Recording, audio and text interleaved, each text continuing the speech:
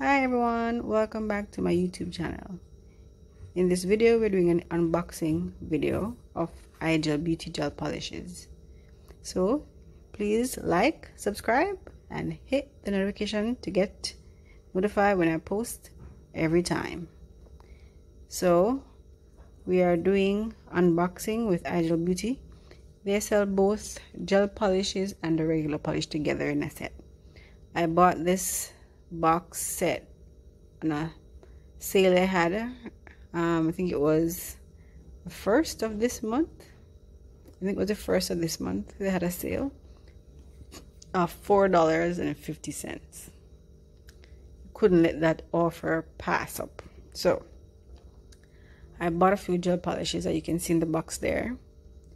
And the darker bottle, that one, that's the gel polish. And the other one is the regular polish. And it is so nice so pigmented. I just love their gel polishes. I only buy them on sale. When they're not on sale I don't buy any. Yeah because where I live shipping can be a drag. So so I think it's about nine um, colors but that one I'm looking at now, where the, the top seems something has happened to it. But that color looks a little bit different from the regular polish. I'm going to see how it turns out though when I use that one. Yeah, it slightly look different to me. I don't know about you, but it looks different to me.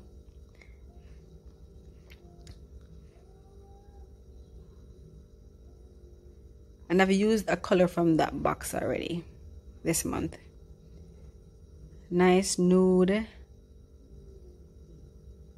not too bright you know not too dark. And that mint looks classic. That mint look nice. I may I think I'm gonna post a, a picture of that mint I did recently. So I'm gonna post that one so you can see how it, it turned out. It's a different shade of blue coral looks quite nice I haven't tried that one. Yet it's just that mint one is the only one I've tried so far but I do enjoy the brand itself. So if you're interested in wondering what type of gel polish to get that's a good brand to get. Gel polishes. They have a variety of colors. So I love that. So I'm going to put them out again so you can see them outside the box?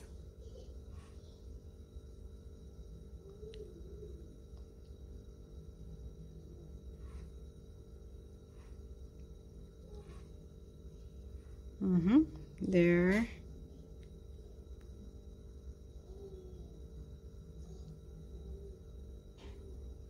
Purple light pink orange green blue nude. Yeah I buy essential colors because I don't want to buy too much colors and then they're stuck on me, you know, they're not being used. So I'm selective in buying color. I don't buy every color. So thanks guys for watching my unboxing of these products. They're lovely. lovely. See you in the next one.